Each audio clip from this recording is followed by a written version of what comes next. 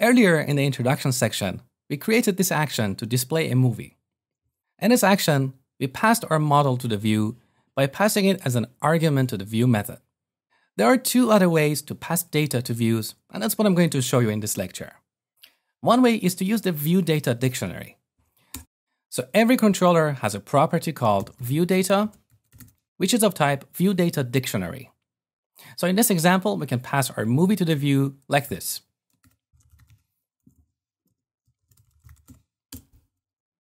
Then we remove it from here. Now let's go to the view. With ReSharper, we can quickly navigate to the view for this action by putting the cursor on the view method and pressing Ctrl B. In this dropdown, you see the name of the view, random.cshtml.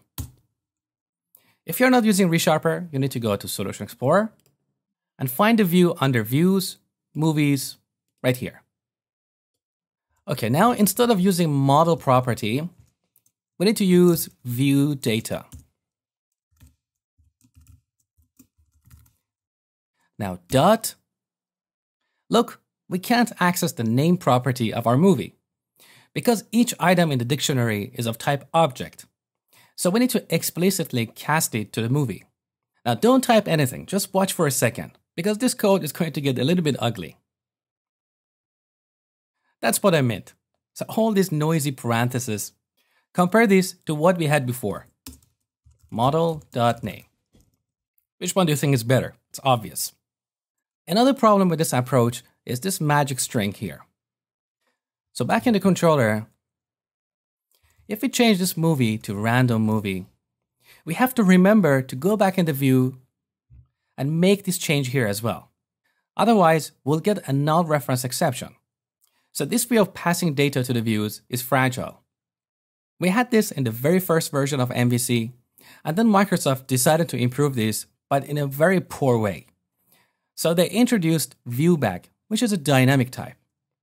So back in the controller, instead of using view data with a magic string, we use ViewBag with a magic property. So this movie property is added to the ViewBag at runtime which means we don't get compile time safety. If we decide to change this magic property to random movie, again, we have to remember to go back in the view and change it here. Plus, we'll have the casting issue as well. So honestly, I have no idea what Microsoft was thinking when they introduced this view bag as an improvement for view data. So please do not use view data or view bag. If you want to pass data to a view, just use the approach I showed you earlier. So back in the controller, we get rid of these and just pass the movie object here. Now, you might be curious, where does this movie object go in the view result? Let me show you. So I create an instance of view result.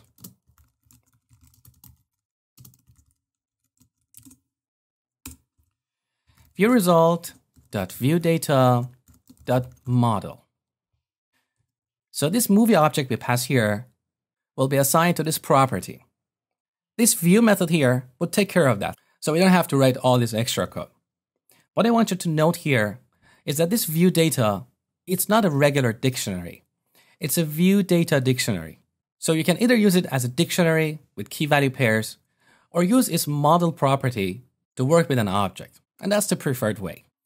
Next, we're going to look at view models.